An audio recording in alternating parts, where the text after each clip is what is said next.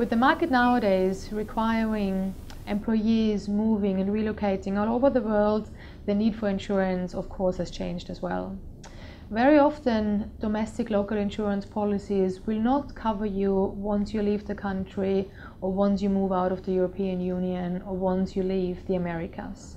So the need for international health insurance has risen with the key characteristics being globally portable in the most cases, complete individual insurance policy that is independent from your employment status, and an insurance price that does not increase uh, depending on the claims that you have made in the previous years.